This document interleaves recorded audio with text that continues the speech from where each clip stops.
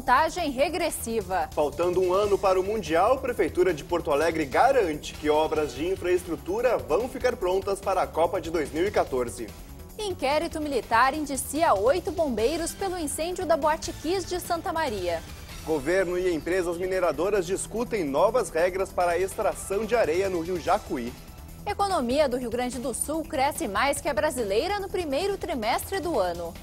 Bom desempenho da agropecuária foi o principal responsável pela expansão de 2,5% no PIB gaúcho. Este é o Jornal da TVE que já está no ar. Boa noite. Boa noite. Há exatos 12 meses para o início da Copa do Mundo de 2014, um passeio de ônibus nesta tarde mostrou o andamento das obras de infraestrutura em Porto Alegre. O poder público garante, tudo vai estar pronto até a data do grande evento. O ônibus da linha Turismo fez um caminho diferente. O guia desta quarta-feira à tarde também mudou coube ao prefeito José Fortunati falar aos passageiros sobre o andamento das obras em Porto Alegre.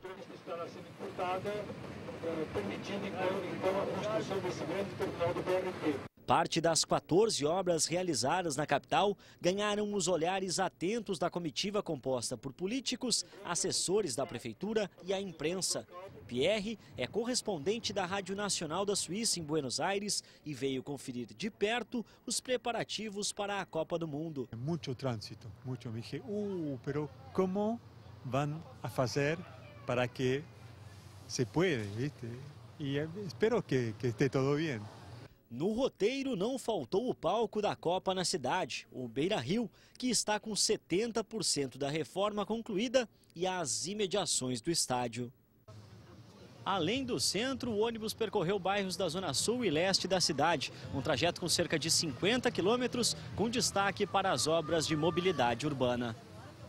Com a promessa de deixar tudo pronto até a Copa, a maior preocupação do poder público no momento é a falta de areia, que resultou na suspensão das obras nos corredores das avenidas Protásio Alves e Bento Gonçalves. Nós, a todo momento, enfrentamos atraso das obras. Ou são ações da justiça, ou são ações de manifestantes, agora é a falta da areia, uh, licitações desertas. Esta é a vida real. O que é importante destacar? É, independente de qualquer coisa, nós consolidamos as obras. Muito. Na realidade, a FIFA exige três coisas para ter a Copa do Mundo. Estádio e seu entorno. O estádio é privado, do Inter com a sua parceira.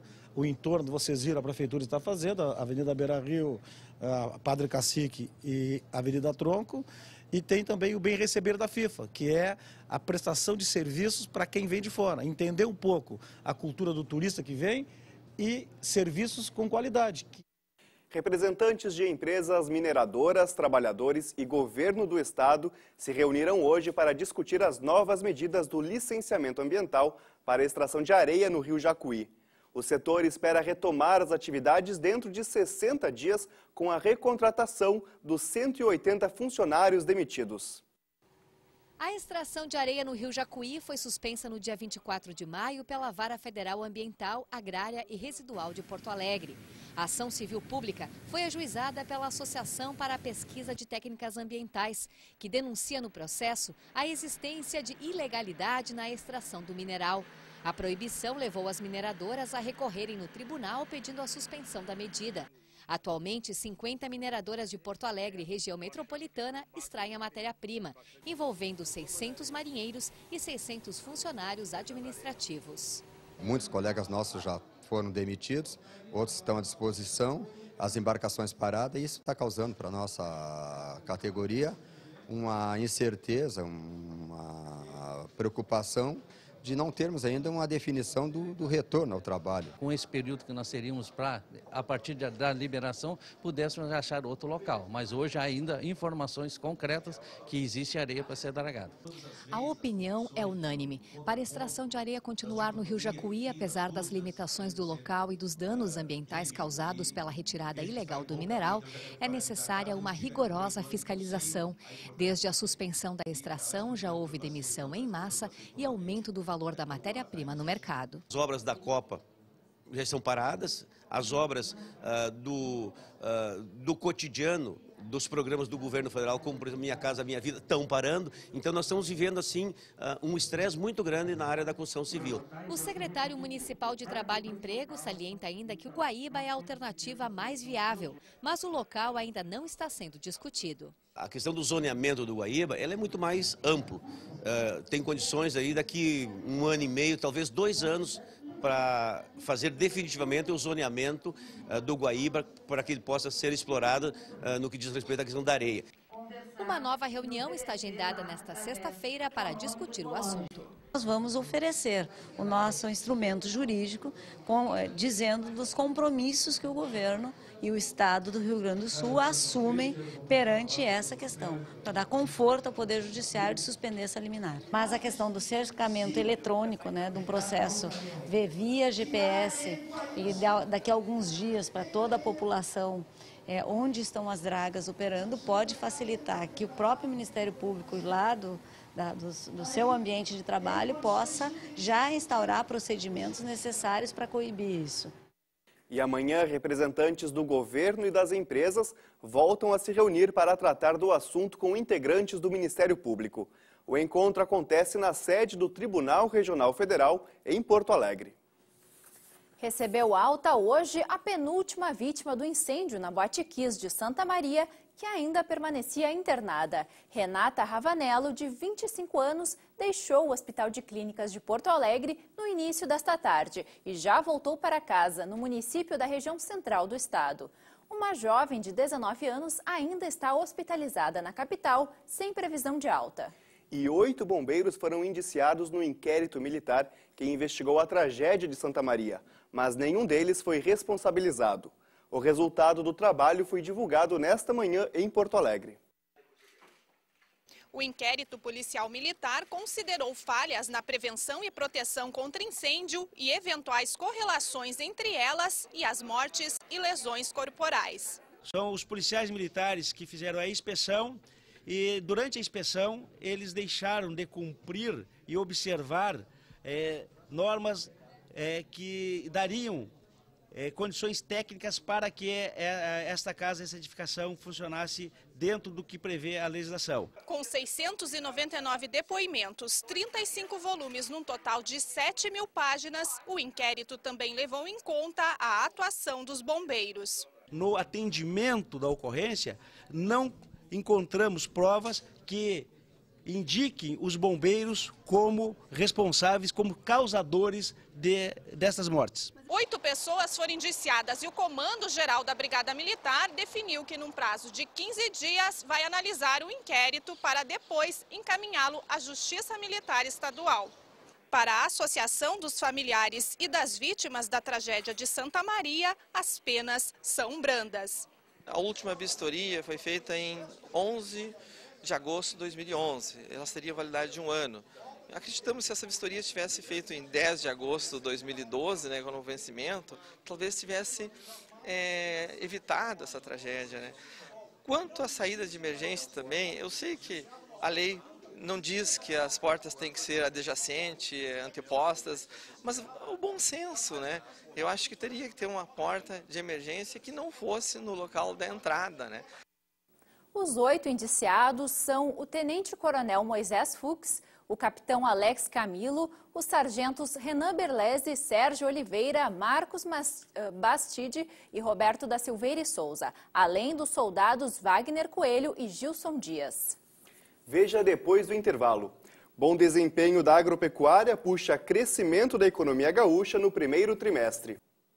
Com um incremento de 2,5% no último trimestre, o produto interno bruto do Rio Grande do Sul superou o PIB nacional, o PIB nacional do período em 0,6%.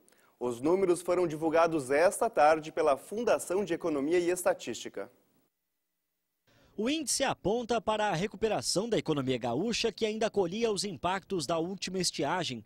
No primeiro trimestre deste ano, o setor agropecuário cresceu pouco mais de 10%, alavancado pelo arroz, com cerca de 5%, e do fumo, com 8,5%. O PIB do estado também foi impulsionado pela expansão nos serviços e comércio.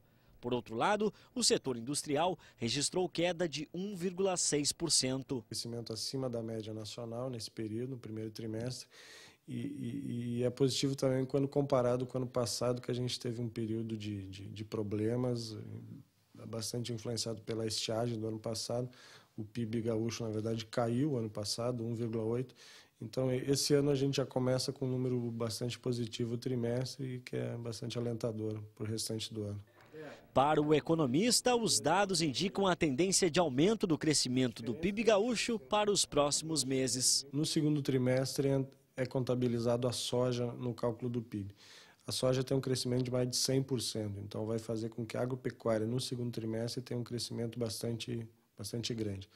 Por outro lado, já há indicativos de, de de retomada da indústria, né, que foi negativo no primeiro trimestre, há uma expectativa de, de, de tornar-se positivo o seu desempenho no, no, segundo trimestre, e os serviços devem manter um crescimento que já vem mantendo há um longo tempo.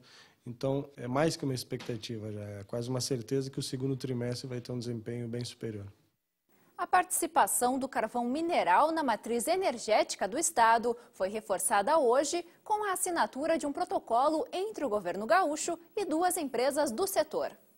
O governo do estado, a MPX e a Copelme assinaram dois protocolos de intenções para investimentos em duas usinas a carvão e uma mina no município de Candiota. A cerimônia foi no Salão Alberto Pasqualini. Nós estamos há quatro anos perseguindo esse, esse projeto e agora, com a assinatura desse protocolo, a gente tem, dizer assim, todas as condições de competitividade para poder é, participar do leilão é, de igual para igual com os nossos concorrentes. As duas usinas já possuem licença de instalação e estão aptas a participar do próximo leilão de energia, previsto para 29 de agosto. As usinas devem entrar em operação em 2018. O valor do investimento é de 6 bilhões e 800 milhões de reais. Isso aí realmente vai ser muito importante. Alguns mais otimistas dizem que o carvão pode se tornar o pré-sal do Rio Grande do Sul. Mas sem exagero, realmente vai ser algo fenomenal. E o Palácio Piratini também anunciou hoje a redução no preço das passagens intermunicipais no estado, que podem ficar até 55 centavos mais baratas. A medida foi tomada por sugestão das próprias empresas de transporte, que retiraram do preço da tarifa o custo com os pedágios desativados no Rio Grande do Sul. Dezenas de casos de crimes passionais foram registrados este ano no Rio Grande do Sul. Para mudar esta realidade, um ato público que nasceu nas redes sociais aconteceu hoje no centro de Porto Alegre. Um dos objetivos é marcar o Dia dos Namorados como uma data para também combater a violência contra a mulher. Em meio às manifestantes estavam as colegas de Márcia Calisto, assassinada pelo ex-marido no ano passado, no dia do seu aniversário, 24 de julho. O seu filho Mateus também foi assassinado. Ela não acreditava né, que o próprio marido pudesse chegar à, à condição de tirar a vida dela e também do filho. Né? É, eu acho que esse é o problema maior da violência doméstica né, na residência. Porque a mulher nunca acha que aquele companheiro, parceiro de todo dia, né, seja capaz de um ato criminoso e violento desse. Além de propor a igualdade entre homens e mulheres, o ato exigiu principalmente o fim da violência contra a mulher. Segundo a Secretaria de Segurança do Rio Grande do Sul, nos últimos cinco meses, 45 mulheres foram assassinadas por companheiros ou ex-companheiros. A maioria delas estava com medidas de proteção. Nos últimos 10 dias foram 10 mulheres, de janeiro até agora, mais de 40 mulheres morreram em nome do amor ou em nome é, de de ter deixado de amar aquela pessoa. Então, enquanto umas mulheres estão ganhando rosas pelo Dia dos Namorados, outras estão ganhando rosas no seu enterro. Então, esse dia, para nós, a partir de hoje, vai ser um dia que nós vamos marcar. Machismo mata, dizendo que é em nome do amor. Em nome do amor, a gente não humilha, a gente não maltrata e a gente não mata. Um estudo da Secretaria de Segurança do Rio Grande do Sul, a partir de registros policiais enquadrados na Lei Maria da Penha, revela que quase 50% das mulheres foram assassinadas até três meses depois de registrarem ocorrência. A Secretaria de Políticas para as Mulheres incentiva a denúncia das agressões. Ferramentas que atendam as mulheres vítimas de violência é uma prioridade. Portanto, nós computamos é, o aumento, a, obviamente, a ter um espaço para que as mulheres possam denunciar e nós estamos trabalhando fortemente para que o nosso escuta lilás, que é o nosso mecanismo de denúncia, esteja cada vez mais fortalecido. No Dia dos Namorados, a Secretaria da Saúde de Porto Alegre iniciou uma ação de alerta sobre a importância do uso de preservativos. 600 mil camisinhas e gel lubrificante vão ser distribuídos até sexta-feira na Esquina Democrática. Com 6 metros de altura, 2 de largura e mais de 200 quilos, o dispenser está disponível para a retirada gratuita de camisinhas masculinas, femininas e gel lubrificante. Eu acho importante a, a prevenção, né? Eu acho que o governo deveria investir mais em prevenção do que depois, né? Estou achando bem interessante, né? Porque se isso aí já estivesse antes, né? Teria, teria tido já bem menos morte, né? Uma ótima iniciativa com com esse mundo hoje em da AIDS, das doenças, né? Cada vez maior quantidade, então é viável isso aqui, um bom projeto, né? Um grupo de jovens apresentou uma coreografia de street dance trocando camisinhas. O preservativo ainda é o método mais adequado para a prevenção da AIDS e de doenças sexualmente transmissíveis. O HIV não se transmite pelo abraço, pela saliva, não se transmite pelo, pelo chimarrão, mas ele se transmite pela relação sexual. E, no, e a única forma de não adquirir o HIV e outras doenças sexualmente transmissíveis é fazendo uso da camisinha. A distribuição de camisinhas na Esquina Democrática acontece até sexta-feira, das 9 horas da manhã até às 6 da tarde. Durante todo o ano, as unidades de saúde de Porto Alegre distribuem os preservativos gratuitamente. A campanha do Dia dos Namorados da Prefeitura de Porto Alegre continua neste final de semana com o teste rápido itinerante Fique Sabendo, no bairro Rubem Berta. Cinco consultórios vão oferecer teste de HIV, sífilis e hepatites B e C. Os resultados ficam prontos em 15 minutos. Veja a seguir programação cultural do Fórum de Autoridades Locais inclui Feira do Livro e exposição de Sebastião Salgado. Foi enterrado nesta tarde no cemitério Jardim da Paz, em Porto Alegre, o radialista Newton, Nilson dos Santos. Ele morreu esta madrugada na capital gaúcha aos 66 anos. Nilson trabalhou durante muitos anos como editor de imagens da TVE e teve passagem também pela TV Bandeirantes e RBS. A sequência de manhãs com nevoeiro continua no Rio Grande do Sul. Em Porto Alegre, o dia começou úmido, com baixa visibilidade e mínima de 14 graus. Mas a menor temperatura registrada hoje foi em Jaguarão, 6 graus e 6 décimos. Vamos ver se o frio e o nevoeiro seguem no estado nesta quinta-feira. Boa noite, Bruna. Boa noite. Amanhã o sol predomina em todo o Rio Grande do Sul, mas o dia novamente deve começar com nevoeiro na maior parte das regiões. As temperaturas seguem baixas nas primeiras horas do dia, mas a presença do sol e do ar quente vindo do centro do país deixam a tarde amena. O sol aparece na região metropolitana, mas o dia amanhece com formação de nevoeiro. A máxima chega aos 24 graus na capital. Céu parcialmente nublado no litoral norte, faz 23 em Tramandaí. Em Erechim, no norte do estado, o sol predomina. O dia começa com mínima de 12 graus. Na região central e na fronteira oeste, a previsão é de tempo bom. As máximas chegam aos 23 graus em Santa Maria e aos 26 em São Borja. 200 prefeitos e gestores públicos de diferentes continentes trocam experiências e discutem soluções para os problemas dos seus municípios. Canoas, na região metropolitana, é a sede do terceiro Fórum Mundial de Autoridades Locais de Periferia. O primeiro gestor público a falar no painel de hoje foi José Fortunati, de Porto Alegre, que também é presidente da Frente Nacional dos Prefeitos. Em sua exposição, falou de ações bem-sucedidas da cidade que sediará o próximo fórum. Nós já estamos preparando para o ano que vem em Porto Alegre um grande, um grande fórum para comemorarmos os 25 anos do orçamento participativo, de tal forma que esse modelo que se consolidou em Porto Alegre nos últimos 25 anos continue servindo de modelo para toda a terra. O diálogo entre autoridades locais é um momento para trocar experiências positivas e buscar soluções para aqueles problemas que, em qualquer lugar do mundo, são motivos de incertezas e preocupação dos gestores, como a saúde, a educação, o meio ambiente, a assistência social, entre outros. Problema de uma cidade não é mais de uma cidade, é o problema da outra cidade também.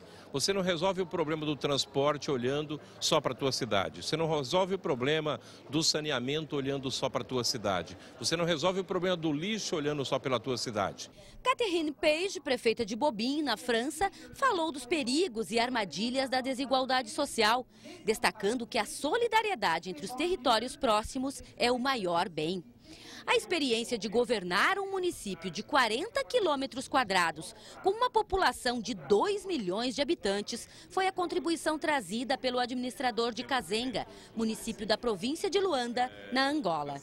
Ao mesmo tempo que estamos a, a, a, lidar com as coisas do dia a dia, estamos também a criar condições para o melhoramento da qualidade de vida das populações, construindo escolas, hospitais, vias, eh, vias, portanto, rodoviárias, tratando do saneamento básico, dando, portanto, eh, energia e, portanto, também água à população. Eu tenho estado a perceber nas alocuções que estão a ser feitas que os problemas são iguais. Entre os eventos paralelos ao Fórum, acontece a Feira do Livro de Canoas, que segue até sábado com encontros entre leitores e escritores. A noite desta terça-feira teve um convidado especial. A 29ª edição da Feira do Livro de Canoas iniciou dia 1 de junho, com uma programação que oferece 196 atividades ligadas à literatura. A minha ideia esse ano, meu primeiro ano como secretário de Cultura de Canoas, foi qualificar a programação foi deixar o livro, o escritor, a palavra ser o protagonista absoluto do evento, com menos uh, ações periféricas e tudo, absolutamente tudo concentrado no livro. Dos mais de 100 escritores convidados, um deles era o mais aguardado. Prestes a completar 86 anos no próximo domingo, o dramaturgo e romancista Ariano Suassuna falou sobre cultura brasileira a um auditório lotado. Eu tenho dado o Brasil todo e, e eu noto uma avidez da parte principalmente dos jovens de uma palavra que, que diga que o Brasil é um grande país e o, e o povo brasileiro é um grande povo e que diga que a partir da nossa cultura pode se fazer um, um, um, um trabalho de alcance universal. Cerca de 15 mil pessoas têm circulado por dia pelas 36 livrarias instaladas aqui na Praça da Bandeira e no Calçadão, próximo à estação de trem. De acordo com o balanço dos primeiros 10 dias de evento, o número de vendas de livros já superou a edição do ano passado. Foram mais de 13.800 exemplares. Eu acho que ela está com, com elevado número de participantes que são escritores e também inovações dentro da organização e do planejamento da cultura do livro. E este ano eu diria assim, há uma participação um pouco maior também das escolas, com as atividades, os próprios alunos. venho quase sempre com a minha mãe. Mas hoje eu vim aí só com a escola e acabei comprando esse livro com bônus que me deram. É a viagem ao centro da Terra. E vim diretamente de propósito de Portugal para, para estar na feira. Agora vou aproveitar e fazer outros trabalhos. E pronto, e é sempre bom e eh, estou vendo que Canoas está a crescer como cidade leitora, o que é muito bom. Não é? Até há cadeiras fora do auditório, significa que a assistência não, não cabe na, na, na tenda, o que é muito bom. E, e, pronto, estou pronta para fazer, eh, espero, com um trabalho rico com as pessoas daqui, muito com escolas, muito com as crianças, com os professores. E também dentro da programação cultural do Fórum, o visitante pode apreciar uma exposição com parte do acervo do fotógrafo Sebastião Salgado, reconhecido mundialmente por retratar problemas sociais em diversos países. A mostra fica na Praça da Solidariedade da Unila Salle. E é com as imagens de Sebastião Salgado que nós encerramos